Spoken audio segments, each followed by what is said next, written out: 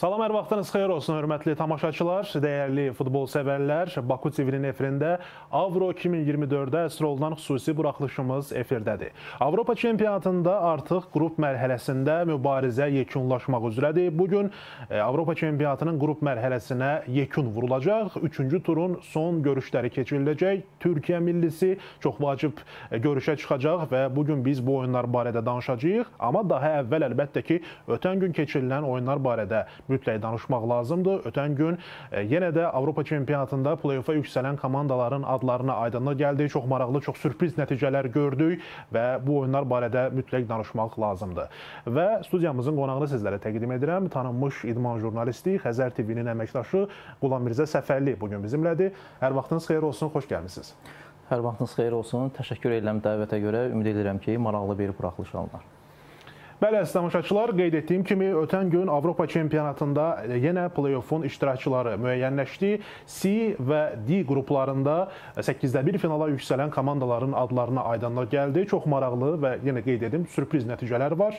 Məsələn, D qrupunda Avstriya seçməsi birinci yeri tutdu. Heç kəs yarış ərəfəsində bunu əlbəttə gözləmirdi, çünki bu qrupda bildiyiniz kimi Fransa və Niderland komandaları da yer almışdılar. Eyni zamanda Polşa seçməsi də var idi ki, istənilən istənilən komandaya müəyyən çətinlik yarada bilərdi. Heyətində Robert Lewandowski kimi ulduz futbolçu var. Amma Avstriya seçməsi bu qrupu birinci pillədə tamamladı. Fransa yığması və Didier Deschamps kollektivi bu qrupda ikinci yeri tutdu. Niderland seçməsi üçüncü pillədə qayılaşdı. Amma bununla belə narıncılar da mərhələ adladılar və Polşa yığmasının onsuz da vaxtından əvvəl yarışla vidalacağı, vidalaşacağı artıq məlum idi.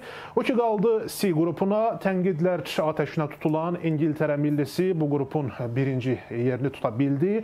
Bununla belə digər komandalar da mərhələ adladılar. Təbii ki, söhbət Danimarka və Sloveniya seçmələrindən gedir. Bütün ə, göstəricilər baxımından burada bərabərlik var idi Danimarka və Sloveniya arasında. Amma əlavə xırda göstəricilər sayəsində reytinq baxımından Danimarka millisi ikinci yer tutdu. Sloveniya isə üçüncü pillənin sahibi kimi adını 8-də 1 finala yazdırdı. Bu qrupun sonuncusu Serbiya millisi oldu. Ötən gün Qulam Rza bəy, e, demək C qrupunda oyunlar keçirildi. Əlbəttə çox maraqlı oyunlardan biri, ümumiyyətlə bu turnirin bəzəklərindən adlandıra biləcəyimiz qarşılaşmalardan biri Niderland və Avstriya seçmələri arasında idi. 3-2 hesabı qeydə alındı. Avstriyalılar möhtəşəm oyun nümayiş etdirdilər. Xüsusilə Marcel Zabitzerin oyununu əlbəttə qeyd etmək lazımdır və e, baş məşqçi Ralf Rangnickin də əməyinə eyni zamanda qiymət vermək lazımdır. E, əslində Niderland seçməsi də pis təsir bağışlamırdı, amma Avstriyalılar sanki qələbəni daha çox istəyirdilər və zənnimcə elə layiq idilər bu qələbəyə. Bu oyundan başlayaq. Bu oyundan başlayaq. Mən bir şey qeyd edeyim ki, mən Avropa çempionatı başlamamışdan əvvəl də ətrafdakılara, dost tanışlara demişdim ki, mənim favoritim Niderlanddır. Niderland qrupu lider tamamlayacaq. Hı -hı. Yəni xəyallarım böyük idi açığı. Yəni 8-də 1, 4-də 1, yarım final, finala gedib hətta çempion olacağını düşünürdüm. Amma çox maraqlıdır ki, yəni bu qrupda maksimum, yəni belə deyək, 3-cü kimi düşündüyüm Avstriya millisi -hı. artıq gəldi burada e, lider oldu.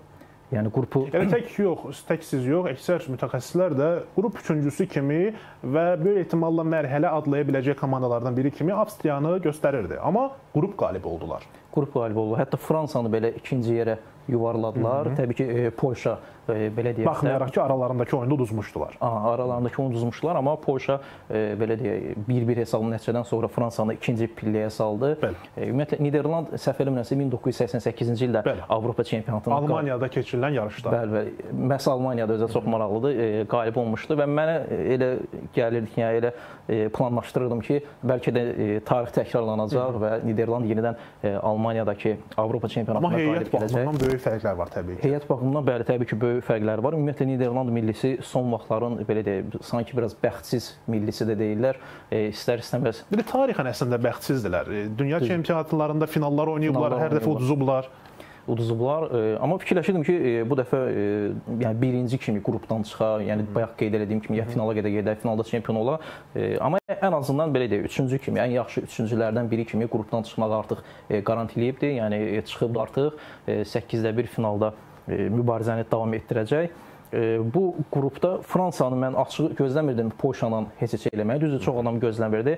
Amma ən azından fikirləşirdim ki, e, Fransa burdan necə deyim, xal itkisiz, ümumiyyətlə itkisiz, xal itkisiz, maksimum xalla 9 xalla burdan çıxa bilər. Niderlandı düz ikinci də bəzən fikirləşib ilk oyundan sonra artıq fikirləşdim ki, bəlkə bir ikinci ola falan. E, amma üçüncü yerə düşdü Niderland, 2 Fransa və 1 Avstriya. Bu mənə elə gəlir ki, hal-hazırda izlədiyimiz e, Avropa çempionatının sürprizidir. Sürprizi də məhz D qrupuna təsadüf elədi. Oyun haqqında bəs nə deyə bilərsiniz? Avstriya yığmasının Rangnickin rəhbərliyi ilə çıxışı həqiqətən də hər kəsi təəccübləndirir. Avropa çempionatı ərəfəsində hətta Bavariya Rangnicklə əlaqə saxlamışdı. Belə bir məlumat var idi ki, rekordmeister onu baş məşqçi vəzifəsinə yetirmək istirdi. Yekunda düzdür Vincent Kompanini təyin etdilər, amma Rangnick də namizədlər arasında göstərilirdi və onun rəhbərliyi ilə bu kollektiv Avropa çempionatının 8-də 1 finala qrup qalibi kimi adladı. Bəli, e, oyunla bağlı bəli onu danışsaq e, deyə bilərəm ki, e, birinci qol avtoqoldan sonra, təbii ki, birinci avtoqoldan sonra e, mən yenə avtoqoldan sonra yenə, yenə bu yarışda avtoqol oldu. Maraqlıdır. E, avtoqollar artıq e, kifayət qədər çoxdur bu Avropa çempionatında. Bəlkə də bu gün də olacaq, bilmək olmaz. Onu qarşıdakı dəqiqələrdə müzakirə etdiyimiz oyunlarda danışarıq. E, avtoqoldan sonra mən fikirləşdim ki, bəlkə e, Niderland geri dönüş edər ki, buna da ikinci sən əvvəlində daha çox inanmağa başlamışdım. Hı -hı. Çünki qol vuruldu, 1-1 hesab hesab oldu. Ondan sonra artıq biraz vəziyyət fərqli o fərqli məcrada davam etdi. Amma mən fikirləşirdim ki, Niderland millisi, yəni açıq-aşkar, yəni ən azı 2 top fərqlə, yəni e, üstün şəkildə bu oyunu tamamlayar, amma olmadı. olmadı heç səni də gözləyirdim ki, heç olmasa heç heç olsun, yəni favoritim olduğu üçün. E, amma e, Zabitser başqa fikirdə. Zabitser amma başqa fikirdə idi. Deyir, sən saydığını say, gör Zabitser nə sayır həqiqətən də saydığını gördük. 3 gol saydılar Niderlandın qapısına və qrup lideri kimi qrupdan çıxdılar. Sadəcə alqış düşür. Bu komandanın play-off mərhələsində bəs imkanlarını necə dəyərləndirirsiniz? Play-off mərhələsində onu deyə bilərəm ki, Niderlanddan söhbət gedir. Söhbət Avstriya mı? Avstriya, Niderland elə istəsəz Fransa millisi haqqında deyə bilərsiniz əslində. Çünki Fransa millisi barədə düz elə danışacağıq əslində başaçılar, amma bir maraqlı qeyd edim. Fransa yığması hələ ki Avropa çempionatında oyundan qol vurmayıb. Yeganə 2 qol vurulub, ikisi onlardan biri Kylian Mbappe-nin aktivindədir, penaltidən fərqlənib Mbappe və bir topda e, avtoqol olmuşdu. Avstriyalı e, futbolçu Weber topu öz komandasının qapısına göndərmişdi. Bu da maraqlı məqamdır. Bəli, amma e, belə deyək, əsasən Fransa e, üstünlüyü saxlamaqla, topa sahib olmağı, belə deyim, özündə saxlamaqla e, bir növ necə deyim, hegemonluq etməyə çalışır oyunlarda. Hı -hı. Bəlkə də ona güvənir ki, topu özümüzə saxlamaq, rəqibə imkan verməməklə, rəqibi oynamağa imkan verməməklə ümumiyyətlə bəlkə e, nəsə eləyə bilərik. E, amma görünür ki, özlərini həqiqətən çətin vəziyyətə sala-sala gedirlər. Görək 8-də 1-də və yaxud finala qədər yüksəlsə ki, mən açığı Fransaya inanmıram. Niderlanda daha çox. Yenə də Niderlanda daha çox inanıram. Amma yəni Fransaya inanmıram ki, digər mərhələlərdə nəsə üstün oyun nümayiş etdirsə belə, yəni sən qol vurmalısan. Yəni bir neçə qol vurmalısan öz qələbəni təmin etmək üçün, rahatlıqla təmin etmək üçün qollar vurmalısan. E, amma gördüyüm kimi, yəni 3 e, oyunda e, ikinci pilləni tutmaq ümumiyyətlə oyunlarda da dediyim kimi ancaq oyundan yəni qol vurmadılar. Bəli. Yəni bu məsələlərə görə ümumiyyətlə e, sırf əgər oyunundan danışırıqsa, Fransa yığması pis mənada futbol sevərləri, mütəxəssisləri təəccübləndirdi. Hə. Çünki biz Fransadan daha maraqlı, daha aqressiv, dominant bir futbol gözləyirdik. Hansını ki biz bu yarışda İspaniya seçməsindən görürük. Ha, Amma Fransa millisi baxmayaraq ki, heyətdə istənilən mövqedə biz daim verilişlərimizdə bu barədə danışırıq. İstənilən mövqedə ulduz futbolçular var. Hətta bəziləri ehtiyatda qalır, e, Deşam onları buraxmır, digərləri ilə əvəzləyir. Amma oyun yoxdur. Oyun, oyun yəni yox. istənilən səviyyədə deyil. Yəni gözləntiləri doğrultmur. Yəni razılaşaq və elə Polşa ilə qarşılaşmada da əslində biz Fransa millisinin çətinlik çəkdiyini gördük. Bir məsələ qeyd edim. İspaniyadan danışmışkən mən Bəli. bir nüansı qeyd edeyim. Təxminən ikinci hissənin ortaları idi İspaniya-İtaliya maçında, hələ İtaliya ilə qarşılaşmada. Mən o qarşılaşmada baxdım ki, təhlükəli hücumlar 56-nın 5-ə. İspaniya 56-nın 5-ə. Yəni o baxımdan Fransa ilə müqayisə etsək, e, kifayət qədər, yəni uçurumu görərik də, arada uçurumu görərik. Ona görə deyirəm ki, yəni Fransa e, biraz üzərində daha çox işləsə, bəlkə müəyyən taktikaları dəyişsə və yaxud oyunçuları dəyişsə, nəsə eləsin artıq ki, e, biraz baxımlı, üstəlik öz qələbəsini rahat şəkildə təmin edəcək bir nəticəyə Həm də imza elə bir artıq yarışda elə bir e, dövr mərhələ başlayır ki, artıq e, hər hansı bir səhvi düzəltmək üçün gec ola bilər. Yəni 8-də 1 final, e, final mərhələsi, play-off mərhələsi elədir ki, e, qrup mərhələsində müəyyən nə isə bir kəşfiyyat xarakterli dəyişikliklər falan etmək olar. Amma e, play-off mərhələsi artıq daha ciddi məsələdir. E, Polşa seçməsi haqqında bəs nə deyə bilərsiniz? E, Polşa seçməsi haqqında onu deyə bilərəm ki, e, açığı e, birinci oyunda e, Lewandowski zədəli olduğu üçün, yəni iştirak etmədi. Bəli, iştirak getmirdi, ehtiyat heyətdə e, Niderlanda uduzdular. Bəli, Niderlanda uduzdular. E, yəni onu ehtiyat heyətdə görəndən sonra mən artıq Polşadan əlimi üzmüşdüm. Çünki e, indi nə qədər ki desək ki, burada komanda işidir, e, bu Avropa çempionatında xüsusilə, yəni əvvəlkilərə nisbətən, yəni bir 1-2 turdan sonra artıq baxırdıq ki, dubl eləyən yoxdur. Yəni oyunları dubl eləyən yoxdur. Fərqli-fərqli. Almaniyanın e, 5-1 ilk oyunda 5-1 hesablı qalib gəldiyi oyunda belə 5 qolun 5-ini də Almaniyada Fərqli fərqli oyunçular vurmuşdu. oyunçular vurmuşdu. Yəni bu komanda işi hiss olunur düzü bu öz yerində. Amma yenə də Lewandowski-nin e, hazır vəziyyətdə oyuna çıxmağı, yəni zədəsiz olmasaydı hər şey başqa cür olardı. Hı -hı. Amma yenə də bu bəlkələr də, bəlkələrdən yapışmayaq. Hazırki reallıq odur ki, Polşa çox zəif nəticə göstərdi. Elə haqqını olaraq da 4-cü pillərini tutdu. Bəli, qanuna uyğundur Polşa yığmasının bu yarışla vidalaşması. Bir də xatırladım əziz tamaşaçılar, ötən gün keçirilən görüşlərdə D qrupu çərçivəsində Avstriya millisi Niderlanda 3-2 hesabı ilə qalib gəldi. Digər paralel ə, təşkil olunan oyunda isə Fransa seçməsi Polşanın müqavimətini qıra bilmədi. Həmin qarşılaşma 1-1 hesabı ilə yekunlaşdı. Və keçid ə, alırıq C qrupuna. C qrupu ə, düşünürəm ki, bütün futbol sevərlər tərəfindən bu turnirin hələ ki ən uğursuz, ən futbol baxımından çox zəif qrupu olaraq göstərilir və buna da səbəb var. 6 oyunun 5-i heç-heçə yekunlaşıb. Ötən gün keçirilən hər iki oyunda isə ümumiyyətlə qol səsi olmadı. Söhbət həm İngiltərə Sloveniya oyunundan gedir, həm də paralel yenə də keçirilən Bakı vaxtı ilə saat 23-də başlayan Danimarka Serbiya qarşılaşmasından gedir. Bütövlükdə istərdim ki, bu qrupu dəyərləndirəsiniz Qulam Mirzə bəy, çünki ötən gün keçirilən oyunlar o qədər bərbad idi ki, yəni yəni hər hansı bir məqam haqqında heç danışmağa məncə dəyməz. Ümumilikdə artıq qrup mərhələsi yekunlaşıb, bütün komandaların nəticələrini bildik və bu 4 kollektiv haqqında fikirləriniz. Əvvəlcə deyim ki, mən e, ötən gecə yəni futbola baxanda söhbət e, İngiltərə, Sloveniya və Danimarka seriya maçlarından gedir. Hə, yəni səmimi deyəcəm ki, oyunun axırlarına yaxın e, artıq yəni hər iki oyuna baxmağa çalışırdım. Oyunun axırlarına baxdı. Yorğunu mürgüləməyə, mürgüləməyə başlamışdım artıq. Yəni çünki İngiltərə ümumiyyətlə adına yaraşan bir oyun stili deyil bu. İngiltərə həmişə istər Premyer Liq olsun, klublar olsun, istər milli səviyyəsində olsun, sürətli hücumlar, cinah hücumları falan. Yəni bütün bunları biz demək olar görmürük deməyək, görmürük deməyək, amma çox az gördük. Çox az gördük və e, altı qeyd edildi olur sizcə? Nə mane olur? Çünki klub səviyyəsində bu futbolçuların ustalıq səviyyəsi hər kəsə yaxşı bələddir. E, milli komandada bəlkə Southgate müəyyən doğru olmayan belə deyək qərarlar verir. Mən elə onu demək istəyirəm ki, bəli, Gareth Southgate-in ümumiyyətlə son yarışlarda meydana çıxardığı, istər yoldaşlıq oyunlarında olsun, istər rəsmi yarışlarda olsun, yəni oyuna çıxardığı heyət deməyim, heyət yəni normaldır da İngiltərə millisinin kifayət qədər yaxşı oyunçulardan qurulub, e, amma e, sanki yəni nəsə çatmır. Çünki İngiltərə mediasında da müzakirə olunub ki, bizim yəni həmişə e, müəyyən qədər güclü hücumlarımız, cinah hücumları falan, yəni sürətli keçidlər, qapı qarşısına asmalarımız olub. E, lakin sanki e, Southgate bunu e, oynatmağa imkan vermir, sırf nəticəyə oynayır. Yəni belə bir fikirlər də səslənirdi. Yəni, yəni bu artıq əslində praqmatik futbolla deyil. Bu bir növ qorxaq futboldur.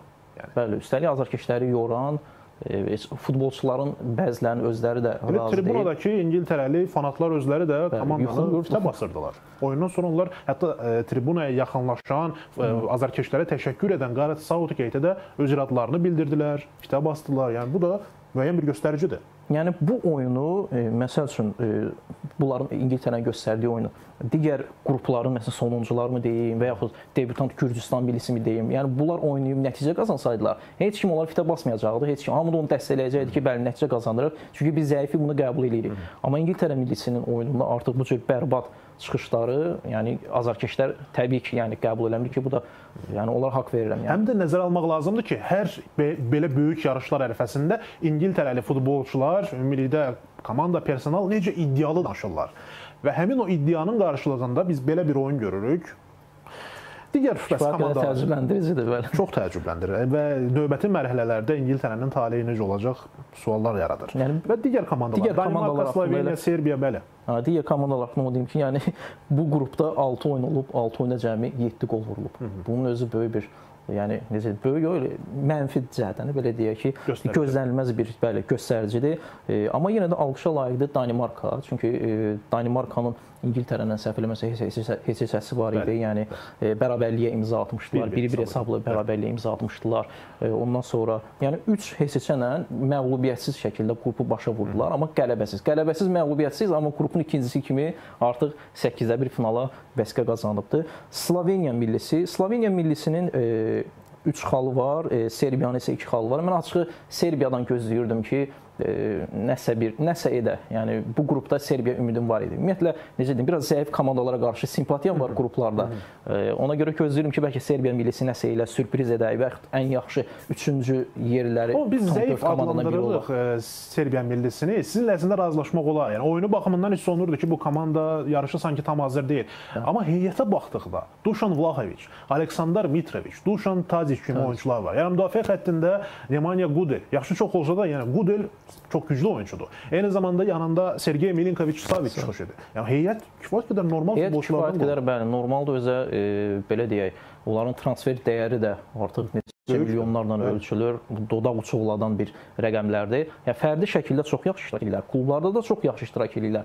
Amma çox maraqlıdır ki, millidə yəni o effekti vermirlər. Məsəl üçün e, bu yaxınlarda e, Hakan Çalxanoğlu misal çəkərdim ki, e, mətbuat konfransında çox kədərli bir şəkildə demişdi ki, mən e, klubda göstərdiyim performansı yəni millidə göstərə bilmirəm və bunun üçün e, yəni çox pis olmuşam. Yəni mənə bağışlayın nəsə bax belə bir danışığı var idi onun. Yəni eyni ilə də bax bu Serbiya millisinə də aiddir ki, yəni orada fərdi şəkildə yaxşı futbolçular olsa da komanda şəklində özlərini yaxşı göstərə bilmirlər. Bəlkə də bunun yəni gələcəkdə baş məşqçi dəyişikliyinə gətirib çıxara biləcəyi bir addımdır. Yəqin ki, yəqin ki, e, müəyyən dəyişikliklər olacaq və ümumilikdə əziz tamaşaçılar, C qrupu haqqında fikirlərimizi bölüşdük sizlərlə. Bir daha xatırladım, C qrupunu İngiltərə millisi birinci pillədə tamamladı. Gareth Southgate-in kollektivi 5 xal topladı qrup mərhələsində. İkinci yeri e, Danimarka millisi tutdu. Onlar əlavə göstəricilərə görə Sloveniyanı qabaqladılar və qrup sonuncusu e, Serbiya seçməsi oldu. Bu gün isə Avro 2024-də bir daha xatırladım, qrup mərhələsi yekunlaşacaq. I və F qruplarında bir-birindən maraqlı qarşılaşmalar bizi gözləyir. Əlbəttə, ölkəmizdəki bütün futbol sevərlər Ay ulduzluların Türkiyə seçməsinin növbəti mərhələyə adlayacağına ümid edir. Onun üçün Türkiyə millisi bu gün keçiriləcək görüşdə Çekiya yığması ilə oyunda sərfəli nəticə qazanmalıdır. Eyni zamanda F qrupu, söhbət bu qrupdan gedir. F qrupu çərçivəsində digər görüşdə Portuqaliya millisi ilə e, Gürcüstan futbolçuları qarşılaşacaq. Gürcüstan millisi Avropa çempionatlarının debyutantıdır, amma bununla belə bəzi adlı sanlı yığmalardan düşünürəm ki, heç də pis təsir bağışlamır. E, Söhbətimizə elə bu qrupla başlayaq. E, Bu gün keçiriləcək oyunlar barədə. Çünki əlbəttə tamaşaçılarımıza da Türkiyə millisi haqqında fikirlər daha maraqlıdır. Türkiyə millisi sizcə bugünkü oyunda sərfəli nəticə, qələbə demirəm, sərfəli nəticə qazana biləcəkmi? E, Mənim fikrimcə qazanacaq. Dediyimiz kimi, yəni Türkiyə millisinin azarkeşləri kifayət qədərdir. İstər ölkəmizdə olsun, istər dünyada olsun. Yəni onların həmişə xüsusi bir şeyə diqqət yetirmişəm.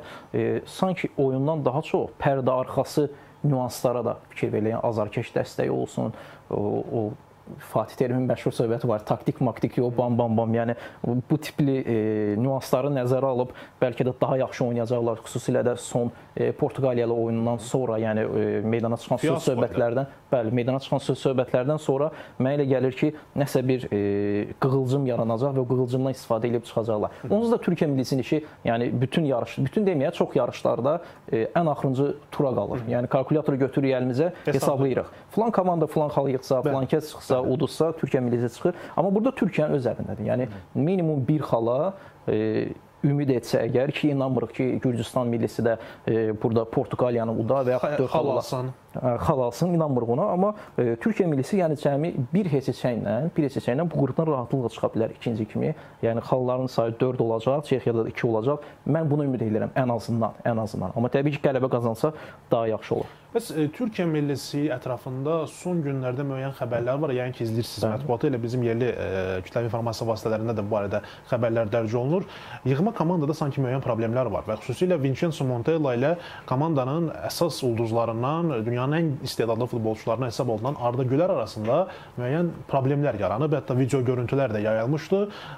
Məşq zamanı, məşq belə deyək, köynəyini Ardanın əlindən aldı və Yusuf Yazıcıya ötürmüşdü Montella. Bu nədən xəbər verir sizcə? Hətta həmin e, görüntülərin davamı olaraq da onu deyim ki, e, yaxınlaşır, Arda orada yaxınlaşır Montella'nın köməkçisinə ki, bəs mən nə edim, kimdən hazırlaşım, necə hazırlaşım? E, orada da yəni, yəni gənc ki, oyunçunun belə deyib. Böyük ümidlər doğruldan, böyük e, ümidlər yaradan bir futbolçuya qarşı belə münasibət, cəmi 19 yaşı var. Belə oyunçuya qarşı bu cür münasibət nə dərəcədə doğrudur? Tamamilə doğru deyil. Çünki yəni belə deyək, Ardan oyununu biz analiz eləsək, götürək birinci oyunu məsəl üçün Gürcüstanla oyunda e, o möhtəşəm qol, elə nə edirsən deyər, oyunun geri, geri dönüş nöqtəsi, yəni o qırılma nöqtəsi. Qırılma nöqtəsi bəli, o oldu.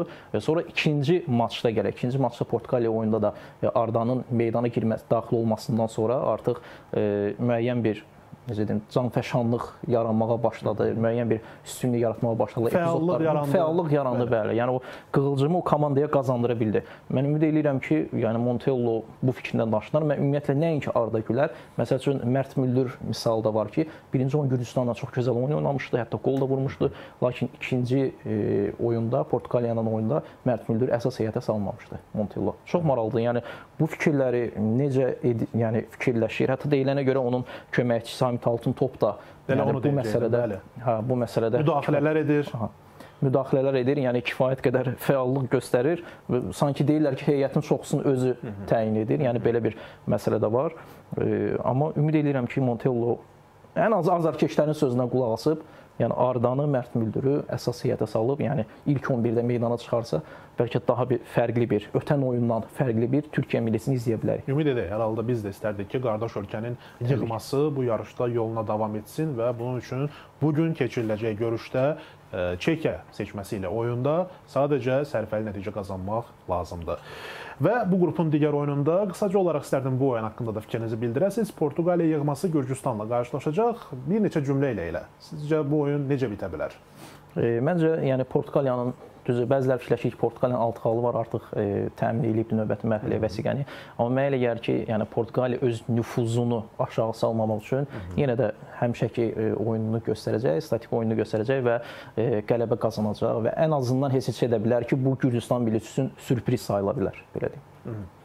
Hər halda görək, Portuqaliya millisi bu yarışın favoritləri arasındadır. Seçmə mərhələdə onlar məğlubiyyətsiz xal itirmədən irəlilədilər və Roberto Martinezin yığması bu turnirdə də qələbəyə çox iddialıdır. Və eyni zamanda əziz tamaşaçılar, bu gün I qrupu çərçivəsində də 3-cü turun oyunları olacaq. F qrupunun qarşılaşmaları Bakı vaxtı ilə saat 23-də start götürəcək. Saat 20-də isə I qrupu çərçivəsində 3-cü turun son oyunları baş tutacaq. Slovakiya və Rumıniya qarşılaşması bizə bizi gözləyir. Eyni zamanda Ukrayna və Belçika milliləri arasında görüş baş tutacaq. E, Ukrayna-Belçika oyunu haqqında danışaq. Hər halda e, Ukrayna millisinə də ölkəmizdə kifayət qədər futbolsevər azarkeşlik edir. Eyni zamanda Belçika millisini də e, müəyyən qədər azarkeş toplaya bilib öz ətrafında, amma Belçika hələ ki etimadı doğrultmur. Və ümumilikdə bu iki komanda haqqında fikirləriniz? bu iki komandadan əvvəl onu deyim ki, iki turdan sonra ən sevdiyim qrup budur. Çünki hamısının 3 xalı var. Bəli, bəli. Burada bəli, həqiqətən hamısı, vəziyyət çox gərgindir. Vəziyyət çox. Ən gərgin qrup adlandırma olar bu dəqiqə. E, Ukrayna Belçika haqqında onu deyə bilərəm ki, e, Ukraynanın həm fərdi olaraq yaxşı oyunçular var, həm də komanda şəklində də yaxşı oynayır. Hətta mən xatırlayıram ki, e, Ukrayna ilk oyunda Rumıniya necə ki 3-0 utdu, mən şoka düşmüşdüm. Yəni Ukraynanın ilk 15-20 dəqiqəsinə baxdım, yəni oyun tərzinə. Mən fikirləşdim ki, 3-0 bəlkə Ukrayna oldu, amma Hı. E, sonda maraqlıdır ki, Rumıniya qələbə qazandı və 3 e, xalı əldə etdi. Hı. E, mən fikirləşirəm ki, bu qarşılaşmada Belçikaya ciddi çətinliklər yaşadacaq. Çünki Belçika əvvəlki Belçika deyil. Yəni yadınızda xatırlayırsansa reytinq cədvəlinin birincisi idi həmişə Belçika. Artıq 3-cü yerə düşüb səhv eləmirəmsə. Ukrayna burada ciddi çətinlik yaradacaq və mənə elə gəlir ki, buradan bir xal götürəcək. Yəni bunu mən proqnoz desək, proqnoz desək, mən heç-heçə planlaşdırıram açığı Ukrayna-Belçika maçını və bu oyunun sülhlə bitəcəyini Bəli, sülhlə bitəcəyini fikirləşirəm.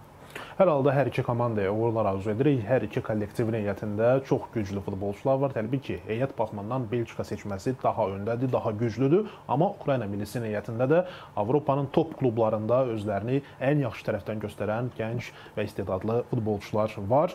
Stuttgart şəhərində təşkil olunacaq bu görüş və Bakı vaxtı ilə saat 23-də başlayacaq. Eyni saatda bu qrupun digər oyununda isə Rumıniya və Slovakiya milliləri münasibətləri aydınlığa gətirəcəklər. Rumıniya millisi baxmayaraq ki, heyətində ulduz futbolçu yoxdur, hər kəsi təəccübləndirə bilib. Əgər İngiltərə pis mənada bizi təəccübləndiribsə, Rumıniya əslində çox yaxşı mənada elə ilk turdan başlayaraq 3-0 hesablı qələbə qazandılar. Ötən turda düzdür, Belçikaya uduzdular, amma Belçika millisi ilə oyun olduğu üçün bunu hardasa anlamaq Müəyyən qədər bağışlamaq olar. Hardasa bəli, anlamaq olar.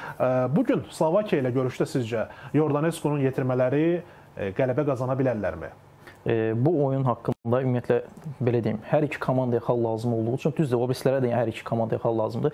Amma mənə sırf bu oyundan danışsaq, Slovakiya və Rumıniya maçından danışsaq, hər iki komandaya e, qollar və necə deyim, xallar lazım olduğu üçün mənə elə gəlir ki, bu maç heç-heçə yekunlaşacaq və hər iki tərəf e, 4 xal yığacaq və qırğın o zaman düşəcək ki, ən yaxşı 3-cü yer ən yaxşı üçüncü yer olan yəni 4 komanda ki, növbəti mərhələyə vəsiqə qazanacaq və görək bunlar arasında artıq yəni hansı meyarlar olacaq, yəni hansı xallar olacaq, kim neçənci yeri tutacaq. Amma ən azından bunu da mən yəni heç-heçə gözləyirəm. Yəni açığı ən heç-heçəyə ən çox inandığım e, oyun budur demək olar. Bu günün yəni oyunu budur. Hı -hı. Ukra Slovakiya Rumıniya. Bəli, Slovakiya Rumıniya maçında məncə heç-heçə. Yəni iki tərəf də çalışacaq ki, qollar vurum, qələbə qazanım, amma yekunda heç-heçə bitəcək. Hı -hı. Bəli, əziz tamaşaçılar, İ qrupunda vəziyyət həqiqətən çox gərgindir. Elə mütəxəssisimizin də dediyi kimi, e, bütün komandaların aktivində 3 xal var. Rumıniya millisi e, birinci yerdədir. Sadəcə əlavə göstəricilərə görə bu komandaların mövqelərini sizə e, sizin diqqətinizə çatdırıram. Rumıniya millisi birinci yerdədir. Belçika ikinci, Slovakiya üçüncü, Ukrayna isə dördüncü pillədə qayalaşıb, amma Bu gün keçiriləcək oyunlardan sonra qrup e, mərhələsində bu yarış cədvəli tamamilə dəyişə bilər. Hər halda bu qrupda son saniyələrə qədər bəlkə də heç nə hələ məlum olmayacaq. Necə ki, elə e, digər qruplarda son saniyələrdə keçirilən görüşlər bizə sürprizlər bəxş etdi. Təkcə elə bir qrupunda İtaliya millisinin oyununu xatırlamaq lazımdır.